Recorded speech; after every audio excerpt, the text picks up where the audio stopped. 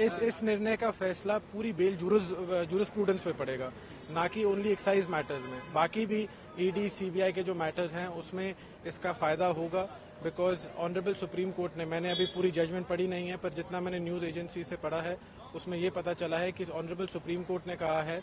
कि long incarceration in the absence of speedy trial would be violative of article 21 और ऐसे ऐसे cases में लर्नेड ट्रायल कोर्ट और लर्नेड ऑनरेबल हाई कोर्ट को एक स्ट्रिक्ट व्यू लेना चाहिए और बेल देनी चाहिए और डिसमिस नहीं करनी चाहिए बिकॉज़ इससे सुप्रीम कोर्ट का बर्डन बढ़ता है बेल एप्लीकेशन में। सर, जो मुख्यमंत्री हैं अरविंद केजरीवाल, उन्हें यहाँ से ही 20 जून को बेल मिली थी रेगुलर बेल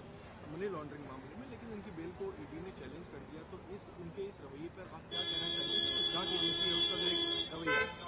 देखो जी उस पर मैं कुछ कहना नहीं चाहूँगा क्योंकि ईडी का राइट है चैलेंज करना। ED is a party to the proceedings and they exercise the right as per law